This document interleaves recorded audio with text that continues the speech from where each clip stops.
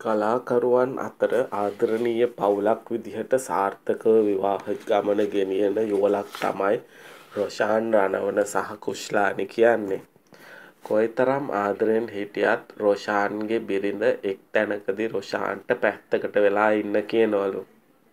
ඒ කොයි වෙලාවටද? ඒ තමයි උයන පිහින වෙලාවට. රොෂාන්ට මොනවා නැතත් තේ එක රසට හදන්න දන්නවලු. ඒත් රොෂාන්ගේ බිරිඳ නැති වෙලාවට අම්මා තමයිලු එයාගේ තේ එක හදලා දෙන්නේ. රුෂ්ලානි උයද්දි රොෂාන් ඇවිත් පොල් ටික ගහලා ලූණ් ටික සුද්ද කරලා දෙන්න හැදුවත් පැත්තකට වෙලා ඉන්න කියලාලු බිරිඳ කියන්නේ. ඒ නිසා රොෂාන් කරන්නේ අම්මයි බිරිඳයි උයන එක දිහා බලාගෙන ඉන්න එකලු. මෙවැනි වීඩියෝ නැරඹීම සඳහා අපගේ channel NSK YouTube channelය subscribe කරන්නත් අමතක කරන්නට එපා. ස්තුතියි.